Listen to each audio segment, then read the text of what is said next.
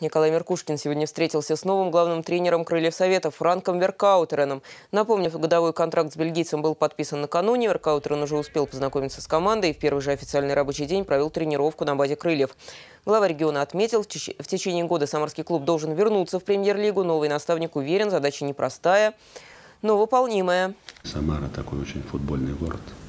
Самара Были годы, посещаемость была в Европе лучше. Конечно, для нас очень важно поставить задачу и э, решить выход снова в премьер Николай Меркушкин также отметил, в Самаре сильные футбольные традиции. В Тольятти успешно работает Академия Коноплева. В этом году в области откроются 12 спортивных площадок с искусственным покрытием, а через два года их количество увеличится в три раза.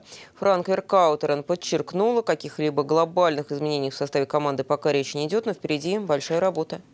Э, Естественно, надо будет делать какой-то выбор, и учитывая ситуацию с легионерами, кого-то меньше выводить на поле, учитывая, что 25 человек можно вносить в заявку, поэтому мы будем думать, кого-то убирать, кого-то подключать.